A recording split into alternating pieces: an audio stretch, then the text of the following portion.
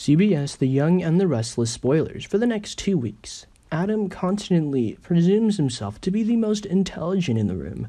It's something else he shares with Victor. But that mindset might be his doom. Adam guaranteed Chelsea he wasn't the one sending out Sharon text messages asking them to be together. He's been hacked, and he thinks he knows who did it Chloe. Will Adam be tripped up on his own conceit, particularly in light of what Chelsea has prepared for him? Fidelity forever. Sharon, who thought those texts were coming from Adam, told him to get lost. She needs to concentrate on her sick husband. Rey thinks Adam is still a problem in between them.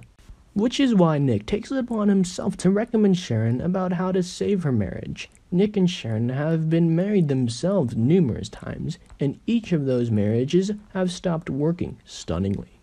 It certainly suggests that Nick is a specialist on the subject. Nikki is not pleased to find Victoria is still mooning over Billy. Not just is it impacting her personal life, however, her work one too. Nikki chooses that the very best method to get Victoria's mind off of Billy is to present to her a brand new man. Faith made Sharon pleased by accepting Lastly to start treatment. At the very same time, she's continuing to talk with a secret texter. This texter recommends they play a computer game, something about shooting squirrels. This leads Faith to ask Phyllis questions about this game and dating, and what it seems like to fall in love. Phyllis hedges on both topics, particularly when Faith wishes to know about the start of Phyllis' relationship with Nick. Devin and Nate trade barbs about what it means to take personal obligation for something. Along the way, they talked that Neil's boy, Moses, is coming to Genoa to deal with Devin and intern Nate. Devin comes by Amanda's and she chews him out, still pissed off that she got cheated on by two different people with the exact same lady. She does have a point.